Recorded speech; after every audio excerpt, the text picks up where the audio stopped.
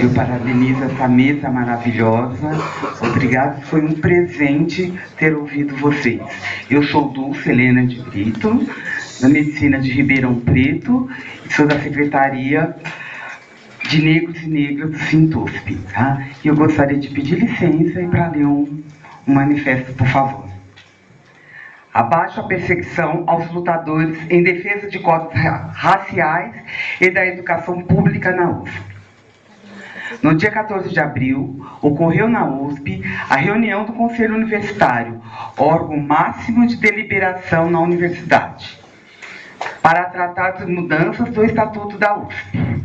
Tais mudanças parte do tardio reconhecimento pela reitoria do enorme desgaste de uma estrutura de poder de uma, desculpa, uma estrutura de poder universitária que se mantém inalterada há décadas, através da qual a Universidade de São Paulo mantém seu caráter autoritário, antidemocrático, elitista e notadamente racista.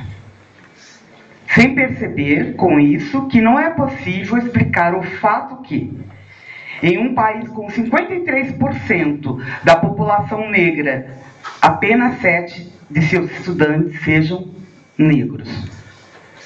Enquanto entre os terceirizados, a esmagadora maioria são negras.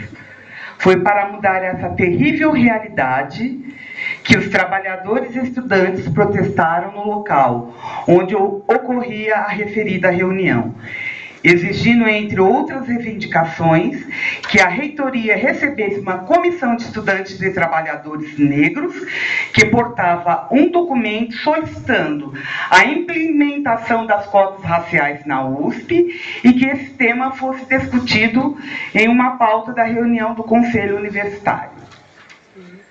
A resposta da reitoria não foi apenas se recusar, mais uma vez a se discutir cotas raciais na USP.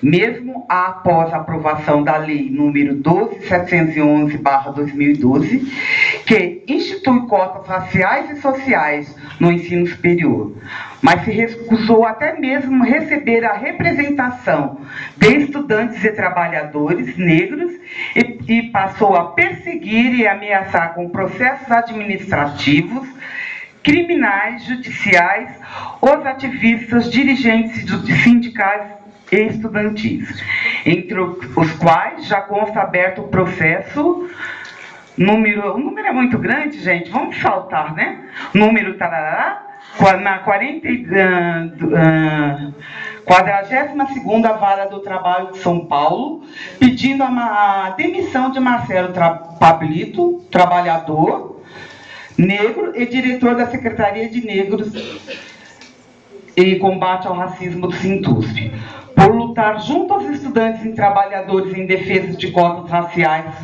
do núcleo de consciência negra, a militarização da universidade, a ameaça do despejo da população negra das comunidades no entorno da USP, revelando mais uma vez o profundo autoritarismo e caráter antipopular, elitista e racista da reitoria dessa universidade.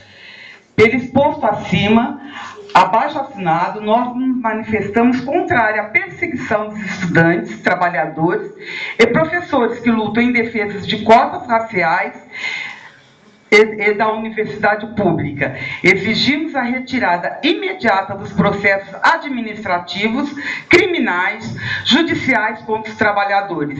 Abaixo o racismo da USP, cotas raciais já. E eu queria só colocar, além do Pablito, os estudantes Vanessa Couto, Marcela Cateboni e Danilo Santos F também já estão recebendo os processos administrativos.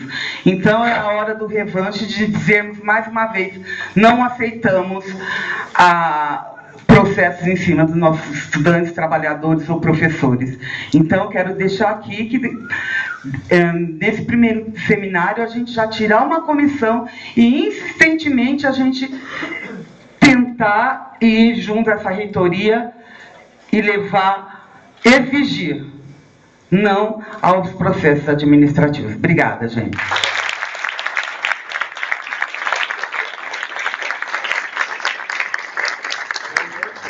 Agora é o Marcelo.